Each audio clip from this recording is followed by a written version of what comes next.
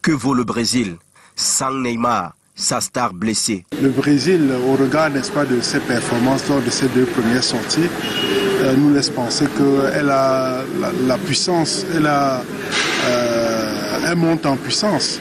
Dans ce match Cameroun-Brésil, pour d'autres, l'absence de Neymar n'aura aucun impact. Sans Neymar, oui, comme je l'ai dit, ils vont faire tourner l'effectif, donc ça va être plus ou moins un Brésil B.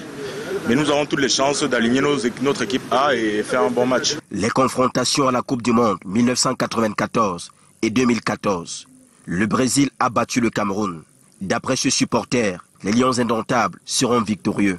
Pour le Cameroun, euh, au soir de vendredi, nous serons qualifiés, c'est le plus important et c'est ce que tout le peuple camerounais attend. On doit rester sur nos gardes et euh, malgré tout euh, croire en la victoire. Le Cameroun sera face au Brésil ce vendredi à 20h.